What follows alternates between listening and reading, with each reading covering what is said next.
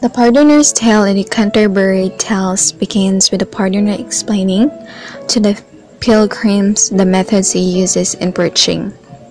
He said that his theme is always greed is the root of all evil, because with this text he can denounce the very vice that he practices greed. And even though he is guilty of the same sins he preaches against, he can still make other people repent. The pardoner admits that he likes money, rich food, and fine living. And even if he is not a moral man, he can still tell a good moral tale. In Flanders, at the height of a black plague, three young men sit in, in an inn, eating and drinking far beyond their power, and swearing oaths that are worthy of damnation. The revelers mark the passing of a coffin and ask who has died.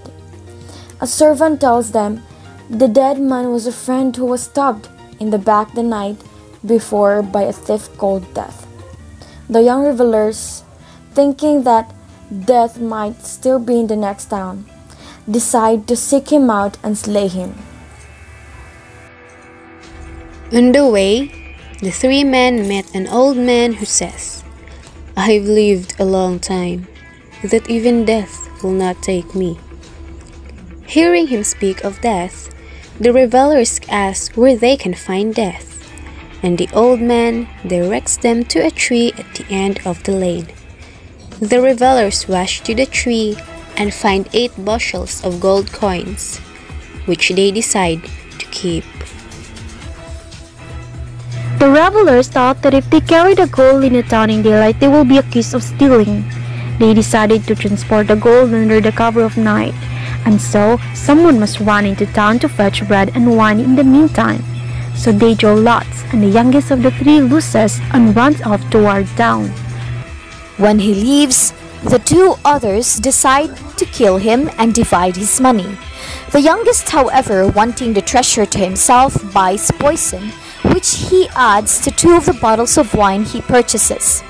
When the youngest reveler approaches the tree, the two others stab him. After stabbing him, they sit down to drink their friend's wine and celebrate. But each happens to pick up a poisoned bottle. Within minutes, they lie dead next to their friend. All three indeed find death. This concludes the pardoner's tale. All must beware the sin of greed, which can only bring trickery and death.